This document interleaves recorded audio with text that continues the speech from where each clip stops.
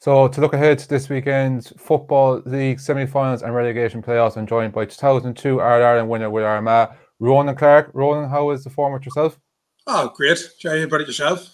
Good. Not too bad, keeping well. I suppose we'll, we'll dive in. We'll probably look at Division One. I suppose we'll, we'll, probably focus on the relegation games because we might touch on a bit later. These probably are the two games of most significance. And we'll start with a game that involves our own two counties, Armagh versus Roscommon. These two counties did a good rivalry back in the late 70s and early 80s, and seems to be heading that way again with recent championship and league meetings proving to be blockbusters between these sides. But Roscommon winning both those games. But Armagh are the side coming into this with a bit more form. Some might say they were a little bit unlucky not to secure the Division One status the last day out against Donegal, while Roscommon come into this game with three defeats from the South Group. So, as an Armagh man yourself, are you confident they can finally end the hoodoo against Roscommon and retain their Division One status for next year? Um, I think the, the big thing is here is a home advantage Armagh have. Like and as you said before, there like Ross Roscommon's come up here a couple of times and and uh, pipped Armagh at the post now. But uh, I expect Armagh will have too much of them, especially the form going into it. They're uh, like the likes of the O'Neills there and Stephen Campbell, who's on fire at the minute there. Uh, I think will just uh, too much for the Roscommon defence. So I would say Armagh by two or three. I think, hopefully now. Yeah, well, I might be hoping for two or three. The other way, as you mentioned there, Armagh's kind of four players, something that was always kind of really praised down through the years and wasn't a weak link of their team. They brought in Kieran Donaghy uh, into the kind of the forwards coaching. As you mentioned there, like Stephen Campbell won six throughout this league campaign. Rian O'Neill, who kind of seems to be stepping out from the shadow of, of uh, or sorry, Oisin O'Neill seems to be stepping out of the shadow of his brother Rian with six points as well this year. And Rory Grugan with 14 points. They are putting very, very impressive scores. Yeah, so uh, I just think, uh, as you said, Armagh were very unlucky in the, the league games that I seen. Like you know, uh, just not seeing the league games out. Like especially, it's probably just the the different tempo from you know the Division Two and the Division One.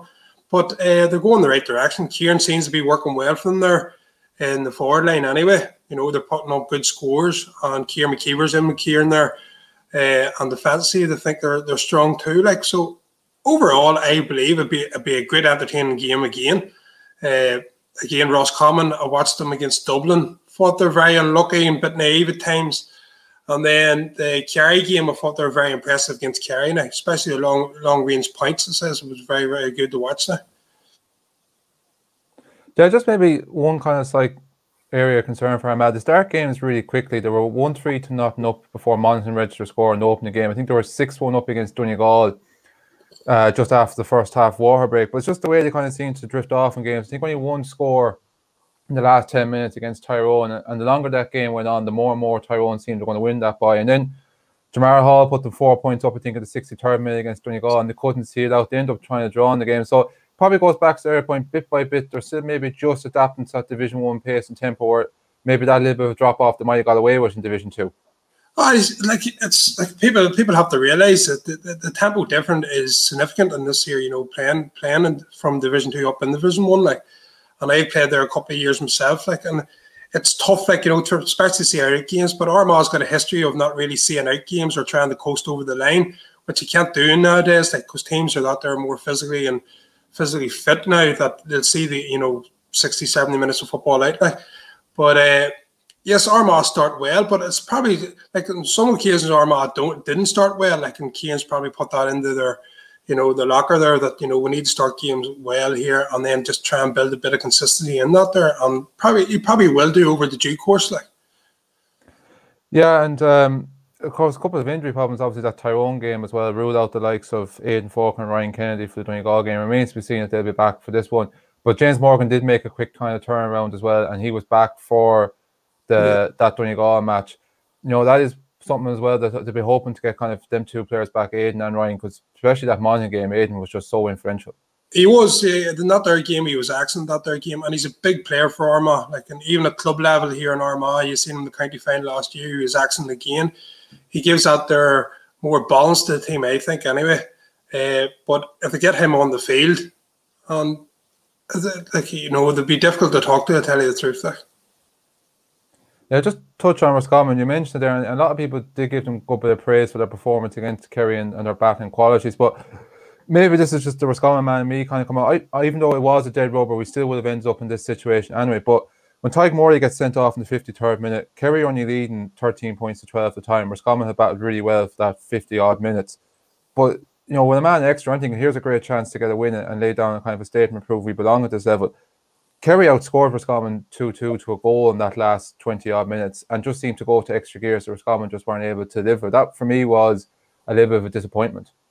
Uh, yes, but uh, sometimes when teams go down to 14 men, uh, you know, they seem to lift, lift their game and, you know, by start to working a wee bit harder. And and plenty of times in my own experience, like you can see out there, it's very difficult to play against 14.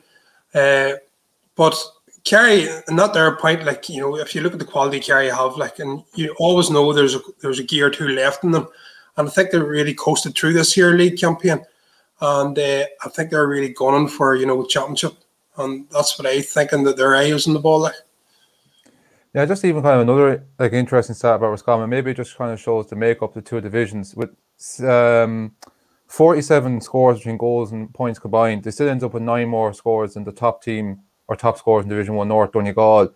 But defensively, you know, they end up conceding 68 scores between goals and points. I think that was 29 more than the worst defence in Division One North, Monaghan. So I think that's that alone probably just sums up Roscommon. Very, very easy on the eye to watch kind of going forward, but still left teams cut through them far too easy at the back. Aye, yes, uh, like but as you, as you said, like the difference between Division One and Division in the Division Two, like you know, you get more quality forwards. Like you got you you, you have to keep an eye on all six midfielders are starting to come through half backs. Uh, but I would defensively like Armagh too. Some people say I might might say that Armagh's lacking defensive too. Like, but I just think in the overall thing, I think we are in for a cracking game uh, be high intensity game like and Roscommon won't fear Armagh, you know, especially coming up in the Armagh because they've done it twice already here. So I'm just I'm just looking forward to it. Tell you the truth.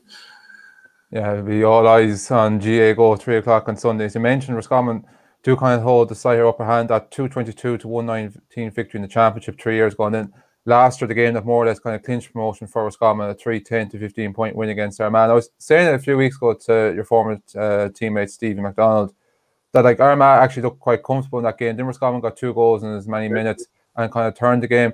Just even from your own kind of point of view, we touched on Roscommon have the psychological edge. Was there ever kind of a case maybe in, in your own days where with Armagh there was just that one team that on the field of play, you're always able to match them, but just couldn't get over the line, or maybe the other way around. No matter what kind of scenario in the game, when you were playing with Armagh, what situation in the game, you always felt you were going to win it. Uh, there's many teams like the next. Like, if we if we knew we were in a battle to the end, like in every team, like you know, would especially it depends what way you know people were looking at it, the way we were looking at it, and we never took any team and taken any team for granted. So we always knew we were going in for a battle. But one springs to mind would probably we always know we're going to get it different against Monaghan and like Ulster football was at that time was a minefield. Like you, you just didn't know what was going to come out like. And uh, but they always seemed they always seemed to try and get the upper hand and you know games where you know when it's put us would kick on a bit. But then as I said before, like like we would take the foot off the pedal then and then try and coast over the line, which then let teams back in. And I don't know, was that was that a, a big psychological thing on our part, but I think we just coasted across and just said, like, you know, we've done enough here, like, we'll leave it to the next day. But some days it was iffy, like, and but then we got caught out in the likes of carries, like, you know, they keep coming, coming at you and put us under serious pressure. I think it was 05 in the, or was beat, beat us in the quarter final, like, you know, the, we, we were coasting again in the first half. Stevie scored a couple of goals they were playing well, and Kerry kept coming up the field and just you know dropping the ball like the, the ball was in the net, and you know getting the rub of the greenness like and. It always always seemed like you know we're always looking over the shoulder if they're coming back to us, but eventually they run out winners out there. But I believe that we're the better team there. Day. Yeah, just another thing that just comes to my mind there that always seemed to kind of be well able for was Fermanagh, obviously beating you at 2004 quarter final Croke Park. And I think as well then in 2006 they brought you to a semi final in Ulster as well, or to a replay in Ulster semi final. So it was also final. Uh, was it 06? Ulster final? We even actually been yeah. We actually were. I think we were, I think we were near ten points up at half time, and uh, they they actually here they just put us under serious pressure the whole game. That was one of them their games where you just you know, we couldn't get our hands on the ball. We couldn't you know you know.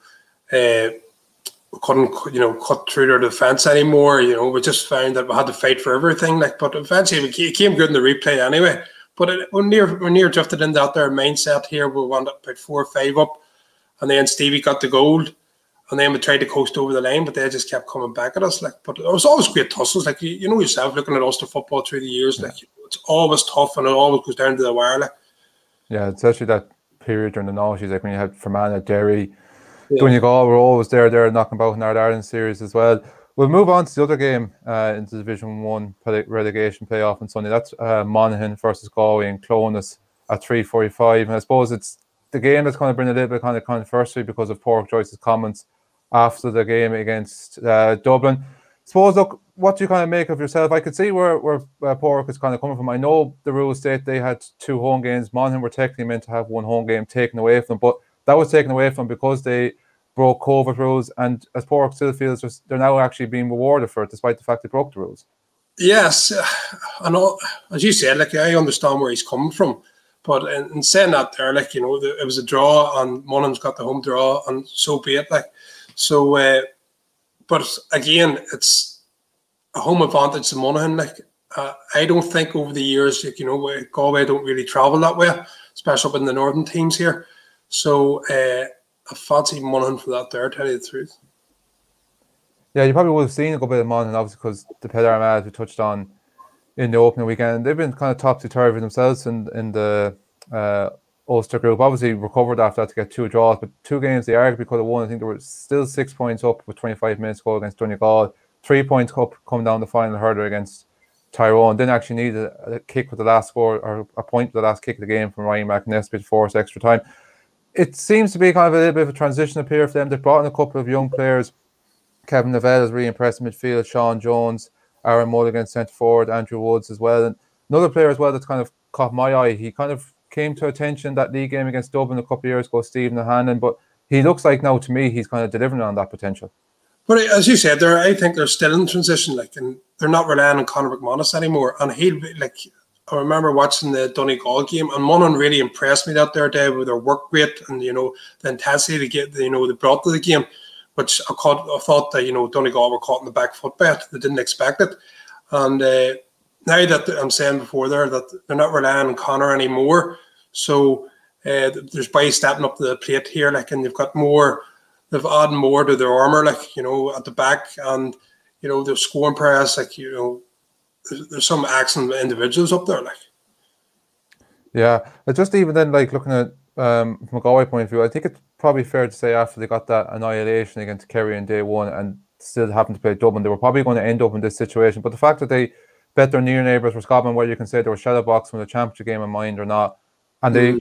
okay maybe never probably look quite look like beating Dublin, but always only a kick of a ball behind and can come away with a lot of credibility from that. They have recovered quite well and shown a, a couple of character about them. Course, I, I couldn't believe the Kerry result at the you know at the, at the very start, uh, but Pádraig Joyce have played with Pádraig in the international rules. None Pádraig wouldn't still in them. Like he's a football man, and he, he's a great work ethic. You know, around the management side of things. Like, and uh, you can say that they're like they lost a wee bit of confidence in themselves. But uh, I think over the last couple of games, like they instilled that there again, especially like you know the, the Roscommon victory. Like I thought that, that there was a good. I thought it was a good enough game. Like, but as you say, it's like you, you know championships go around the corner, and there's just probably a bit of shadow boxing going on there. But uh, that'd be an interesting one too. Yeah, and you mentioned even though Pádraig has to give out about going up to Mon, the last time they did make the trip up there for a league match 2019, they did actually win. So look, it's not beyond them. Just even as well, like from Galway kind of point of view, you know, Corofin have been the dominant club side of the last kind of couple of years, and it's always been a case of trying to get their players into the Galway team, and they seem to be getting a good kind of gel and balance there. And a couple of players that kind of come in this year, uh, Dylan McHugh at centre back, and Kieran Molloy as well like when you are such a dominant force at club level, if you can get them into your county team, it's always going to help raise the standards. Oh yes, certainly. Like you know, they've they've done it over the you know many years now. Like and uh, but as you say, as taking so many in, you know, to getting that their correct balance in the team, uh, which Pádraig would probably you know sit down and off this here campaign, and hopefully like he's hoping for a victory here on Sunday here, uh, that they can sit down and prepare for championship. But I still think that you know they'd be very hard to beat in Connacht now. I think they would be very hard to beat. Like. Yeah, of course, the, that game against Roscommon only three weeks on the horizon as well. But there's no doubt about both them teams will still want to be Division One status going into that yeah. match. We touched on it there at the start. Like the main reason we, we want to focus on the relegation games is because the Division One semi-finals are not going to lead to finals, regardless of what happens here. Kerry and Dublin or Kerry and Donegal are both out in championship in two weeks. So whoever wins these games on Saturday are going to end up sharing the honours of the league. It's again another thing that's raised kind of a lot of talking points about no finals. Maybe fair enough in other divisions, most important matters of relegation and promotion are going to be decided. But in Division One, it's kind of hard not to feel there's going to be a challenge match like to these games. Like you even look at as well, logistics point of view, Dublin and Donegal have agreed to play in a neutral venue. But Tyrone have to make over a 301 mile trip and five ha- half hours in a car or bus down to Killarney to play a game against Kerry that doesn't really have anything major at stake. Yeah, again, it's they're looking at uh, probably championship here, and it's going to be shadow boxing. They're going to probably try new type whatever. Like, but he says like you couldn't read too much into anything in, in these here games. Like you know, to me, like like not having a league final is, is probably one of the you know the highlights of the year in you know the football calendar and the county and you know in county setups. Like so, not having that there, I think Croke Park would need to like a hard look at themselves. Like because it was a it's a great spec. You know, every spectator in the country wanted to see a league final, like, and especially if, if it Kerry and uh, Dublin came through their respective games. You know, people have wanted to see that their match and see what way they're shaping up for championship. Like, and, and down the line, like you know, all league finals always been excellent in preparation for championship. So I don't know why it's you know this year it's it's just a conundrum to me to tell you the truth. Yeah, I know. Like the league was originally starting end of April, or end of February, and we are a little bit up against time. But like, surely, as you said, like the GAA, they could have looked and said, like, we can squeeze an extra Sunday out of this. We can just push the little things back a further week. Like the Ireland football final still is only the end of August. It's still a little bit of tradition ahead of what the normal day would be. Like that, they could have found some sort of arrangement, or even try and make something like they do in the hurling. If these two teams that win on Saturday end up coming across each other in championship, double it up as a league final as well. Yeah, that, that, that, just, that would probably be me kind of thinking too. Like you know, if the yeah, that's yeah. Yeah, and just even like um, looking at some of kind of the talking points heading around uh, these games as well. Like the North group, obviously, you look at the nature. Monaghan finished bottom two points. Donegal finished top of four points. Nothing between them. Do this? Do you still kind of feel that the northern teams are getting kind of spite as close as they are with each other? They are getting kind of closer to Dublin or is Kerry still kind of proven by the fact they're able to go out and go toe to toe and get a draw with them that they still probably are the leading of the chasing pack? Like, I'll, I think still Dublin or or miles ahead on the odd team that I've seen. Like, you know, they seem to have that there just conveyor belt and plays coming in, and they're just throwing out results. It's just amazing to watch. Like, and then people will come in to me and and talk to me about football, and then they say about their funding and all this here. But yes, like uh, Shane Larry is putting uh, pumping money in the coffee at the minute. Like, and that be a good, you know, uh, a good to, you know keep an eye on and see will they develop over the next couple of years by that in their investment. Uh, but in saying that, there, uh, I just don't see anybody catching them at the minute. Uh, yes, Kerry make it closer. Also, teams are working hard. Like, but as you said, also the Ulster campaign up here, like yeah, it's tough football. Like, you know, and the likes.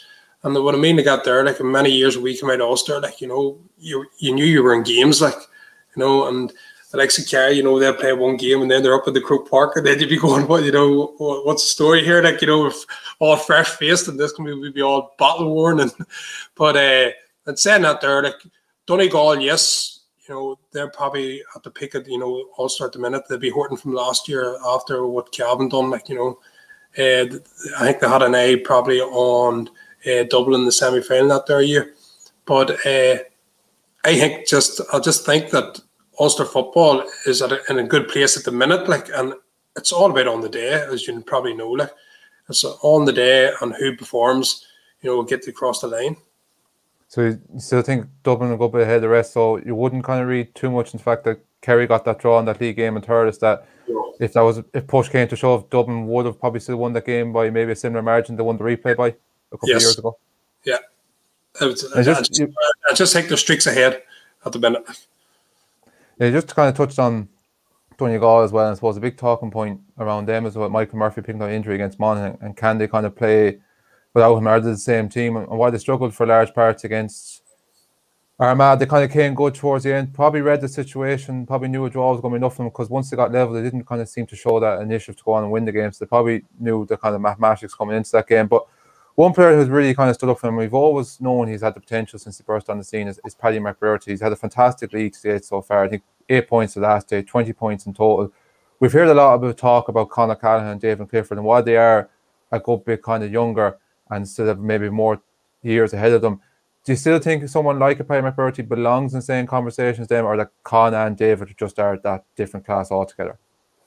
Always rated McBrearty very, very highly. Like an excellent footballer. I watched him down Armagh a couple of years ago uh, when they, they, played him in the championship, and he was excellent up there. And then he was, you know, he got the cruciate injury, and it's tough coming back from cruciate. Like you know, people yeah. say, you know, it, it take a year, but psychologically and then you know physically it's normally two years when you get it back up to speed where you are. Like, uh, but yes, he'd be in the same category as Clifford and all because he can turn a game on its head, you know, at his own individual individual brilliance. Uh, but uh, yes, I would put them in the same category, no problem. Yeah, we might just uh, touch down then some of the other divisions just before we kind of wrap up. Division two, the promotion playoffs on Sunday. Clare first is Mayo. They have home advantage in Cusack Park at a quarter to two.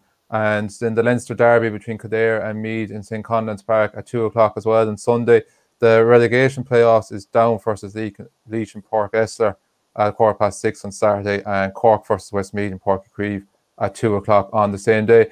Have you got much of an opportunity to watch um, Division 2 so far this year on? Obviously, Mayo with the standout name there, and as someone said to me at training last night, they couldn't have asked for an easier return to Division One if it works out. Only having to win four games as opposed to probably traditionally having to win your your five or six. Now that's still not putting it down that they're going to be Clare, who surprised a lot of people in this league campaign.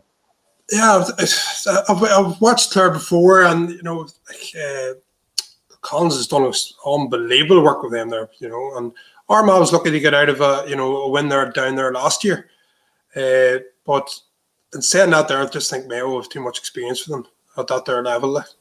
Uh, and but it should be a good game. Like it should be a good game. But I would say I would say Mayo would just uh, tip the scale and you know an experience like. But Kirby pushing right to the wire. Yeah, just long term going ahead for the for the rest of the year. Like obviously the fact they're not going to play against a Division One team until they potentially reach a provincial final because they're on the weaker side of the draw. Kind of do you think that would make any kind of difference in terms of Mayo, or maybe that bit of freshness because we know they're battle hard and we know we're going to get from them, it's not going to overly affect them? That's probably probably a relief to them, you know, being that their side. And I don't think it's you know psychologically it won't be a big problem to them. I think that you know it as you said, it probably just refresh everything for them. And uh, as as it says, like you know, over the years they're battle hardened. Like you know, they have the tough tough few years there, but it's it's amazing how they come back the whole time. Like they come back and they keep giving everything they have, like, and they'll be thereabouts at the end of the year too, like I believe anyway.